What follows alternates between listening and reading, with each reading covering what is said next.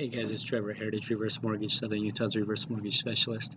My article this week is about uh, a question that I received from a realtor about uh, two or three weeks ago as I was out visiting some open houses. Um, her question was, was that could reverse mortgages cause the market to collapse?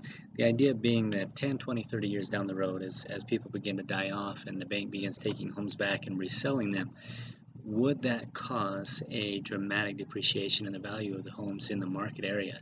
And, and my, my simple answer is no. I mean, if you really examine the question, it's an interesting question, but the reality is is that it, it really stems from a lack of understanding of reverse mortgages, how they work, and, and how they're they're propped up. And so, in the article, I explain uh, there are some some safeguards in place that prevent this from being uh, being a risk.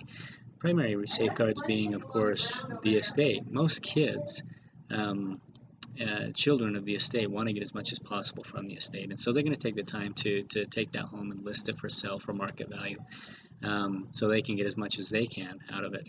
Likewise, you have other things in place like the mortgage insurance fund, which protects the, the lenders, the banks, in cases of foreclosure and loss.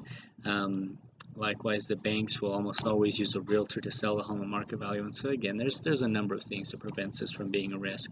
Um, but uh, ultimately, it's a it's a thing that we're we're beginning to see a common theme in the industry as reverse mortgages become more common. Um, people just need to be more educated on what they are and how they work, and and and that way all of those fears and myths and misconceptions that are out there can can start to go away. So anyway if you or someone you love is uh, considering a reverse mortgage if you'd like to get more information on it i'd love to help you.